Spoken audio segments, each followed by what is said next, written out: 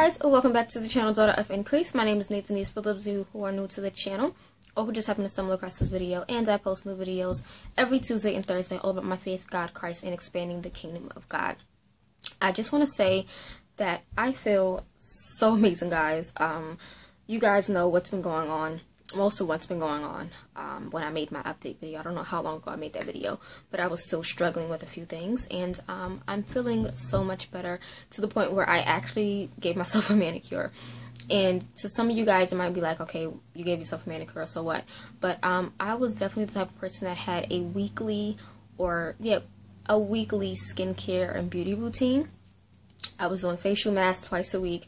I was doing facial scrubs once a week. I was doing bubble baths once a week. I would do my manicures every week. I would do a pedicure every week. And then I, I like slowly fell off this year with doing that to the point where my nails were either getting acrylics on them and there's nothing wrong with acrylics um i just i personally stopped doing acrylics for a long time because i preferred my natural nail length without the acrylics on top but um, it was to the point where I was getting acrylics, and then when I took the acrylics off, I just did not care to have my nails painted. My nails were splitting, they were chipping, they were cracking, they were doing so much craziness. But I finally took it upon myself to organize my room this past weekend. Um, I organized both my bookshelves. Well, not really organized this one, but I kind of organized it um, I went through all of my nail polishes because I have a mess ton of um, nail polishes. I'm like a nail fanatic. If you guys don't know, I am a freelance makeup artist. I do makeup for bridal work, photo shoots, videos, movies, things like that. I do a lot of work like that. Um, when I get the gigs, I've also worked in a hair salon as a makeup artist, and um, beauty is something that I love. So having not done such, like done so in so long, it's been very difficult. But I finally did a manicure and the color I'm wearing is a real cheap one that you can buy from Rite Aid. Okay, so I had to meet my phone because I forgot I had it on. But um, yeah, you can pick this up. I don't know if they have it available anymore because this was a part of a collection. But um, this is a Sinful Colors and you can pick these up for like three, two dollars at um your local Rite Aid or Walgreens. The color is called Crushed Velvet and this was actually from the um Kylie Jenner collection that they had. I really do love this color. It's really gorgeous. And it's just this gorgeous like purple with gold flecks. I know it's a little beat up on this side because I was like rushing. I ain't care. Um, I was just super excited that I finally took it upon myself to do my manicure and I'm going to do a pedicure tomorrow because my son is gone so I'm going to have a mommy time. I'm going to take a bubble bath. I'm going to do all of that tomorrow. But um, yes, I have my little cup here. I've taken a photo with this and put it on my Instagram before, and a lot of people ask where I got this cup from. I get a lot of my mugs from either Walmart, Target, or I go to my local discount stores. I have like three or four different local discount stores by my house, and then I have a furniture spot that sells like cabinets, beds, cups, mugs, wine glasses, and all that. So I go there every now and then and pick up a few. So I have my, um, I woke up like this makeup one because I am a makeup artist and I adore this mug. It's so cute. But inside, I just have a mix of orange juice with grapefruit juice. And it's delicious. Um, but yeah. And I was asked if I can do a skincare video. I am going to add beauty videos on this channel, not heavily, because I actually do have a makeup channel that I used to do. I haven't done that channel in so long, but I'm going to get back into doing that because I haven't worn makeup in forever. But um, I'm definitely going to do a skincare video because I get asked a lot about my skincare, and um, my skincare is like the most simplest, basic thing ever, and I use the most inexpensive products, so I'm going to do a video on that. But that's not what this video is about. This video is a book review, and it's going to be a review on the gorgeous book called Cling that so many of you guys have requested me to review.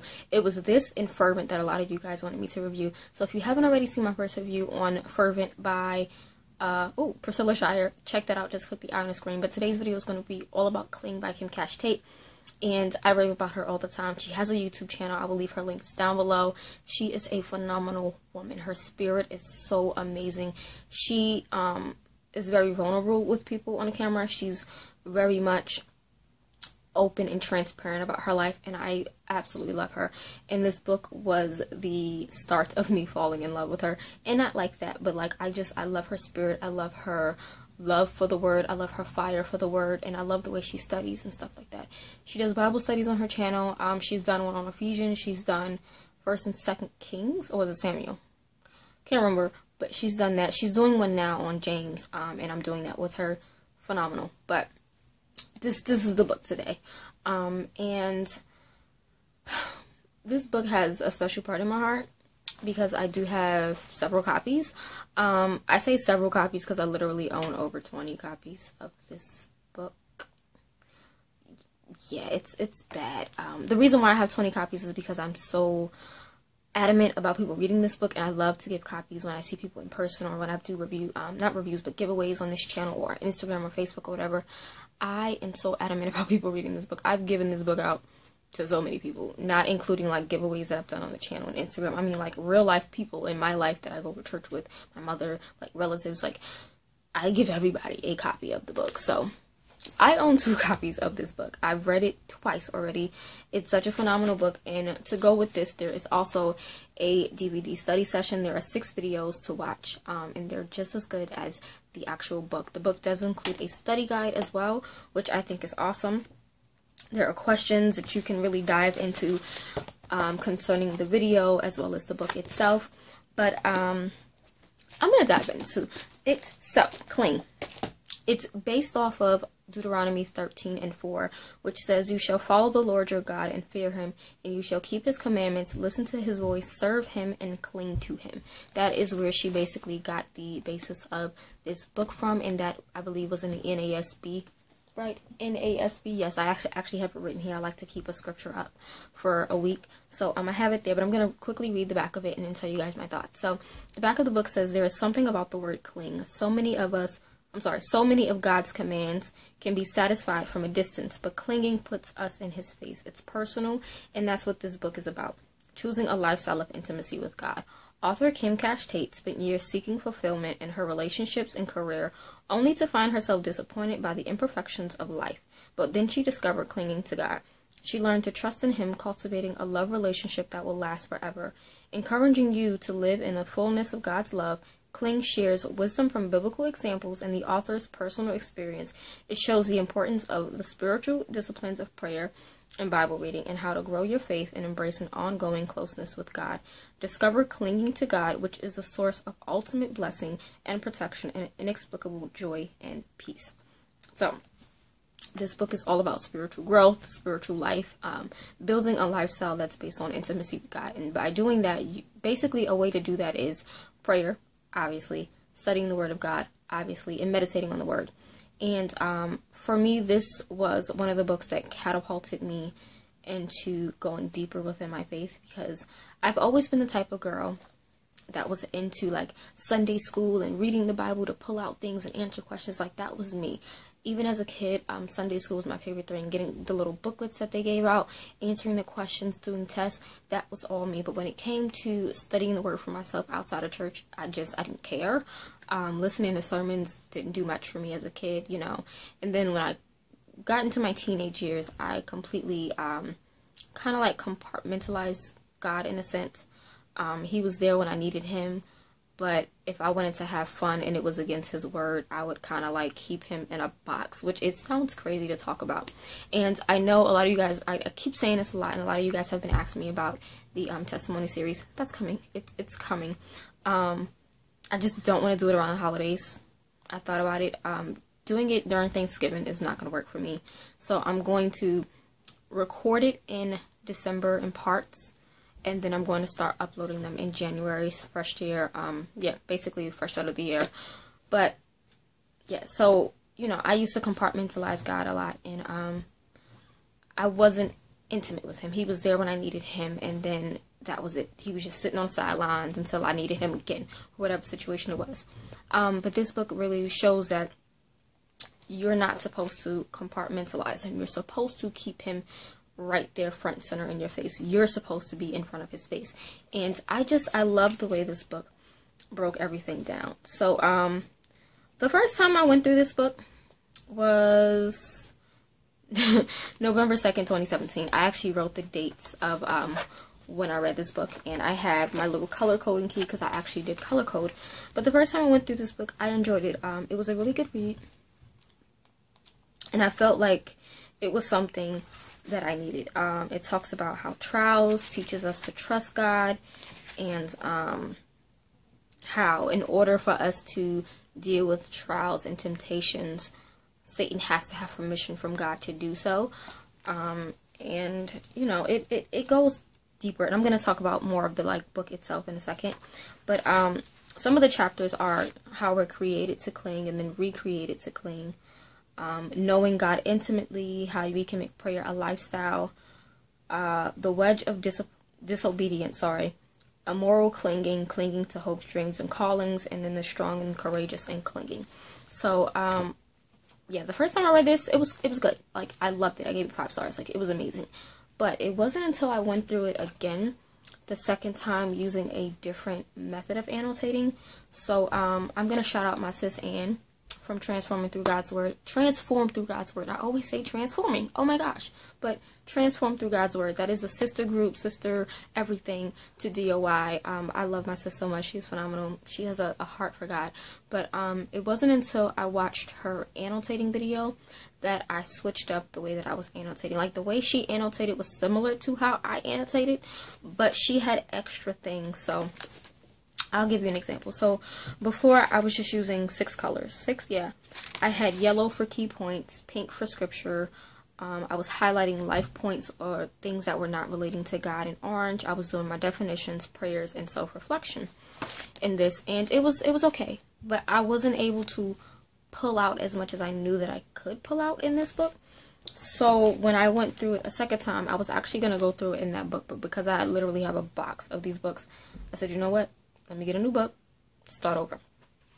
So I read this from July 2nd, 2018 to August 21st, 2018. So it took about a month. Um, because I did this with the Daughter of Increase Facebook group. I will be doing another read along probably with this book next year. Um, I feel like this Fervent and Fervent are two books that I feel like should be read twice. I mean, not twice a year, but every year should be read. But um, this time around, I was highlighting differently and underlining differently and pulled so much more out of this book. It was, I mean, you guys, I was getting so much more out of here.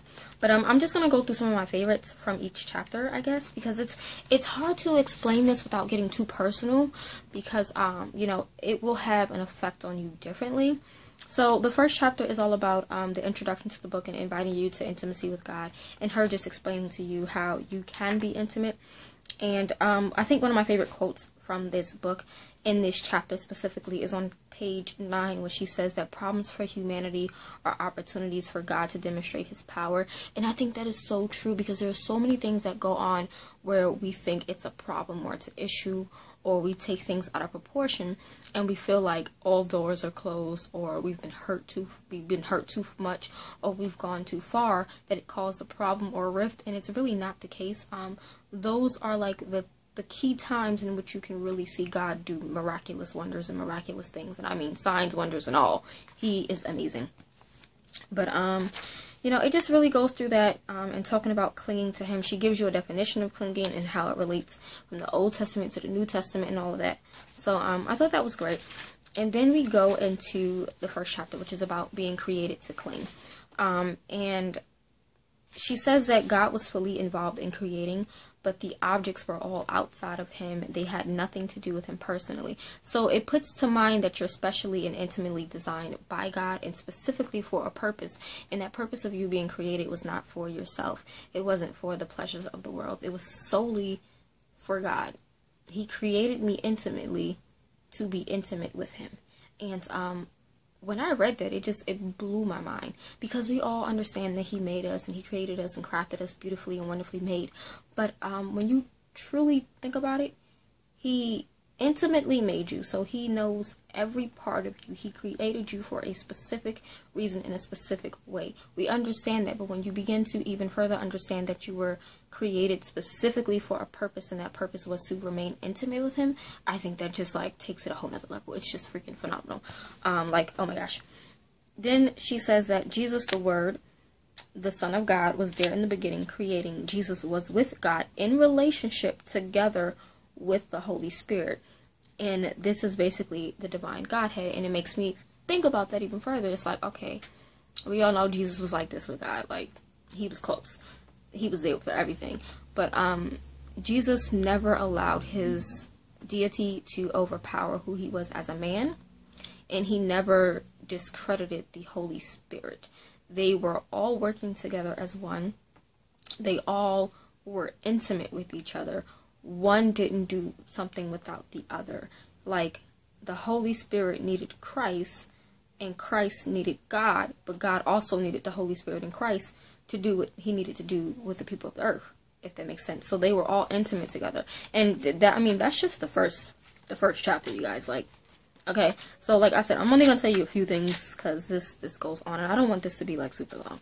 But um what's another one? Making prayer a lifestyle. I think that was a good chapter because um, for me prayer is a very difficult thing. I'm more of the type of person that likes to write my prayers out. I talked about this when i did the fervent review. I am a writer. I like to write. I'm not i don't like to talk. Um, and i know that sounds crazy because i make videos but um, that's just god with me i tell you that. But i i don't really like to talk with people. Um, sounds so weird. I'm like, if you want to call me, don't call me. Text me because I can text you for hours. But talking on the phone is very awkward um, for me. I don't know why. It's not that I have awkward moments with communicating. I just prefer to write. That's just the way that I prefer to speak and communicate. So speaking out my prayers is definitely not hard, but difficult at times because I end up thinking in my mind and um, there's nothing wrong with praying in your mind, but sometimes there has to come a point where you speak out loud to the Lord, when you have to speak your prayers out to Him. And what I find that works best for me is that I write out my prayers in my prayer journal or whatever notebook I'm working in or whatever I'm doing, and then speaking them out into existence. I have prayers on my wall, which are like by my table, but where I do my editing and stuff like that. I have them over there. I haven't read them in a minute but um, I have those prayers for when I don't know what to pray, and I don't want to grab one of my thousands of like books on prayers. I will go to that wall and speak those prayers out, and I will pray them with power. Um, and there's a difference between praying and praying with power. Um, you can simply pray, Lord, thank you for life. Okay, cool. But, you know, there's a difference when you're putting power and effort and push into that prayer because it's now giving it more of a reach to God. I hope that made sense. But um, I'm going to quickly read. So,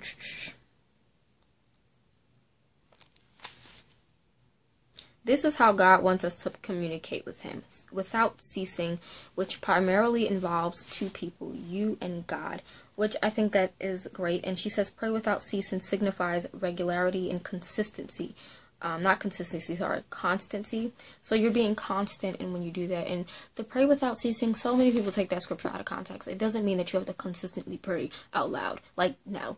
But you should always be in a mindset of prayer no matter where you are. If you're in a car, Lord, I thank you for this drive. If you're on a train, Lord, I thank you for protection.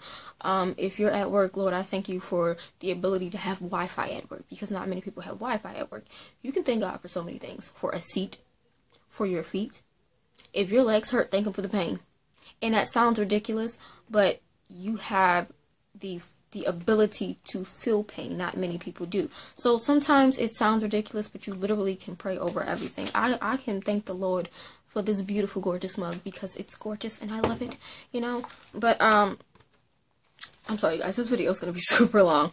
But I, I, I just I don't know how to talk about this book without actually reading the pages because it's so profound. Okay, here's something that I like highlighted and underlined. Um, this was in chapter nine. Then the chapter is called "Clinging to Hopes, Dreams, and Callings."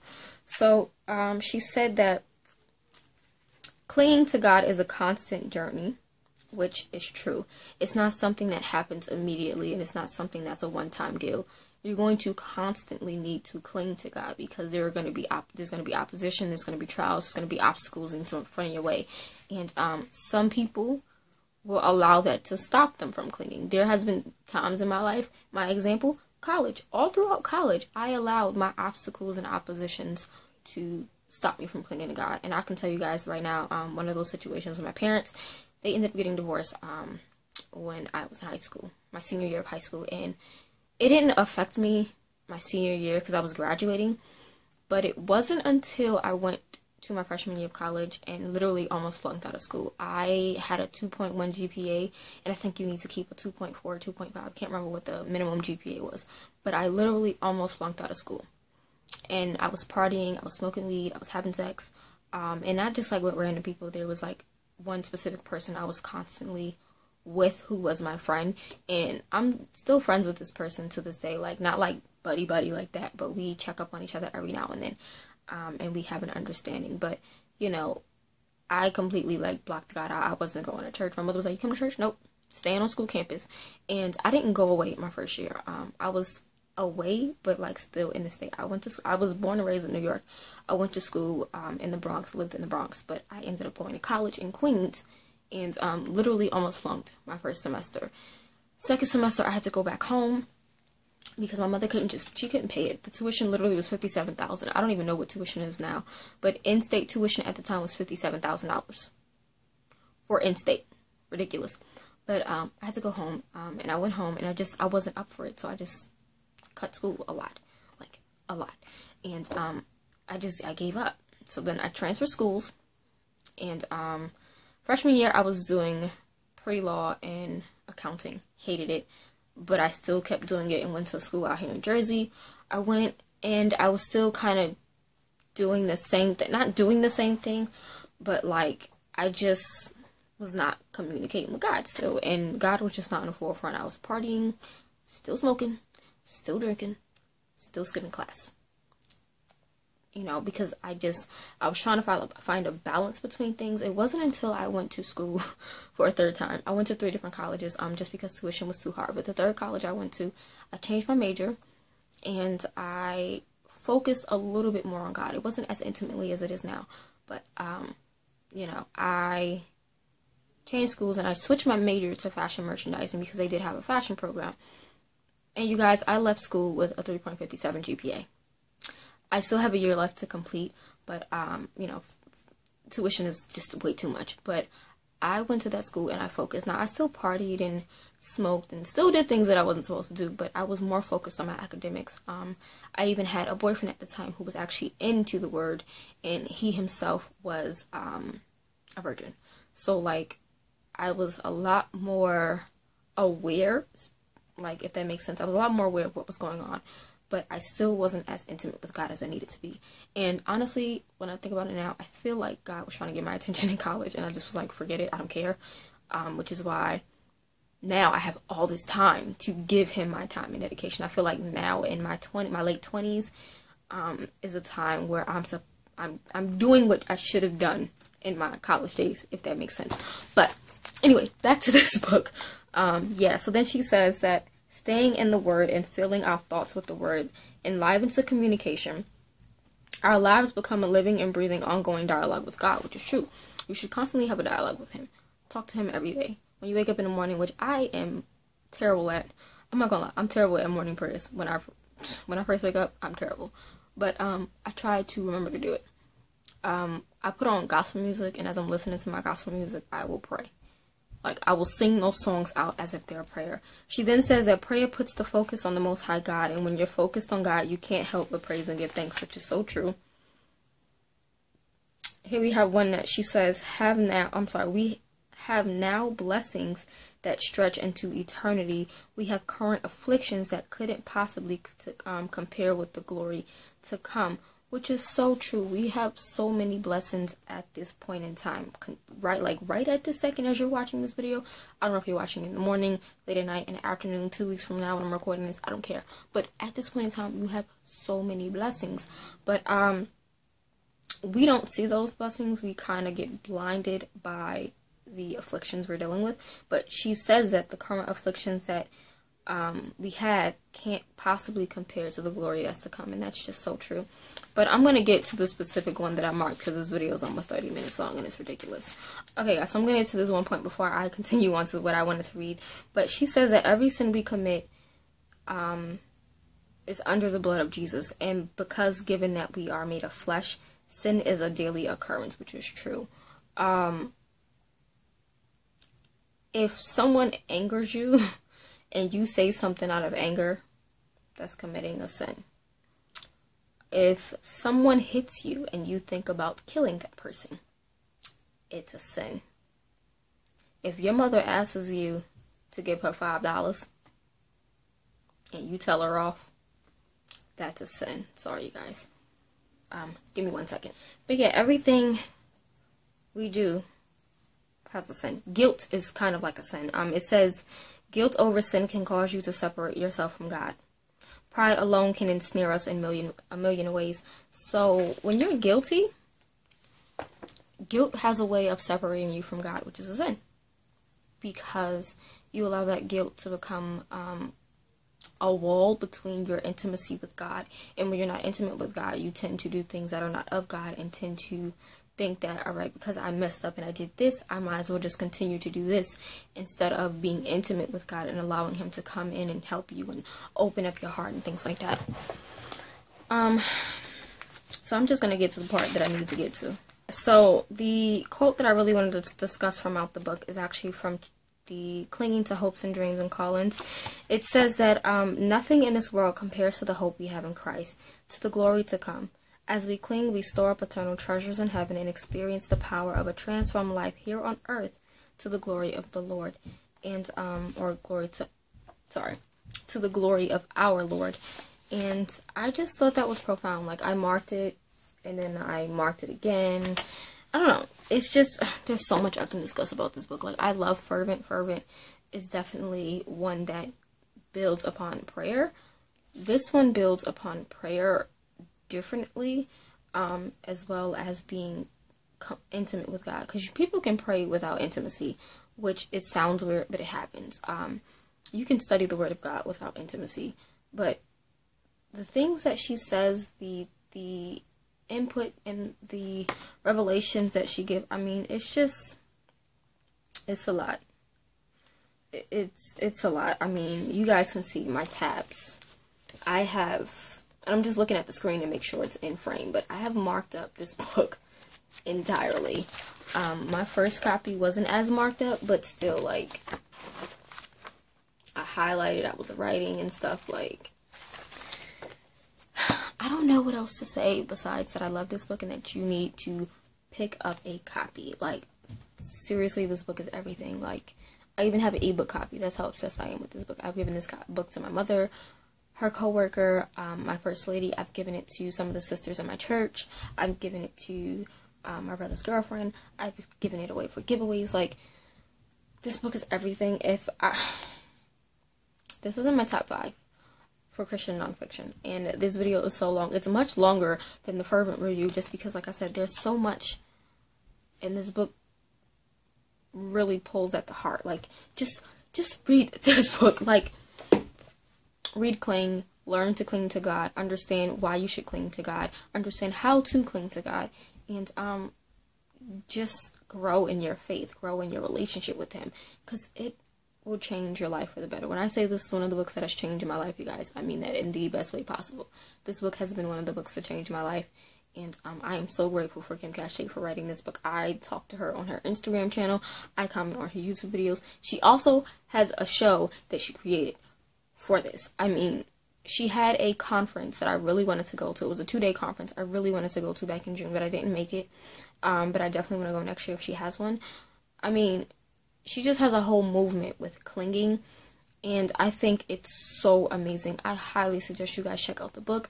If you can get your hands on a DVD study, do that. Um, I am planning to do another read along with this book because I feel like it's such a profound book that needs to be read, needs to be shared with many people, and um, yeah, I just I have no other words. Read it, get it, love it, and utilize it. That's that's the main thing I want to say about books. Um, these reviews, when I give these reviews, I want to be able to connect them to my own personal experiences so you guys can see how I've grown through reading these books, as well as to help you guys understand that when you read these books, not especially these non-Christian, non-fiction Christian books, um, after you read them, utilize the things that you've read. Like, utilize them. And I have utilized everything that I've read from Cling. I've utilized everything that I read from Fervent.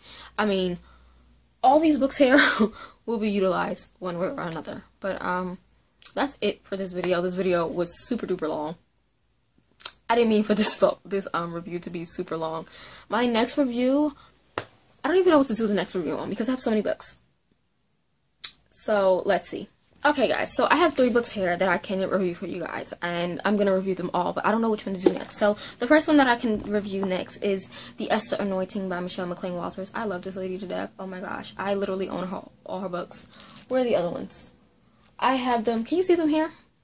I have Deborah, Anna, and Ruth. She's also coming out one, with one called Hannah Anointing next year. Can't wait. So I can definitely review this one. I will say that this is one of the books that helped me start Daughter of Increase. Just wanted to let you guys know that. So I can do this one. I can do Anywhere Faith by Heather C. King, which this book is amazing. What is the quote? I have to just read the quote for you guys quickly because it, it tore me to pieces. Um, it says, Lord, send me anywhere, only go with me. Lay any burden on me, only sustain me. Sever any tie but the tie that binds me to thyself. And she got this from a poem written by David Livingstone. This book is just about having faith anywhere. Um, it's basically about overcoming fear, insecurity, and excuses and saying yes to God. Having the faith to go anywhere that He puts you or wants you to go. I loved it.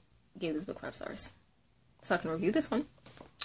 Or the next one that I can do is The Battle Plan for Prayer by the oh my gosh, what are their names? the Kendrick brothers, Stephen and Alex Kendrick, um, which are the creators, I believe, of War Room, which is the movie that Priscilla Shirer was in. So I can review this one, which I did read as well. So I have these three books.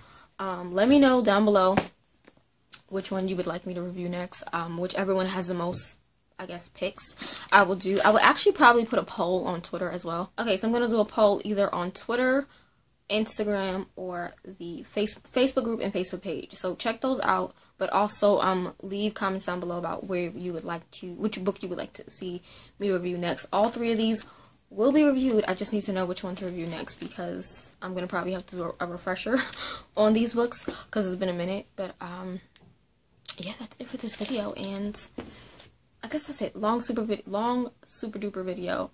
But I hope this video was helpful. Um, if I haven't convinced you to buy Cling, then I don't know what to tell you. Um, but I will see you guys in the next video. Bye. Mm-hmm.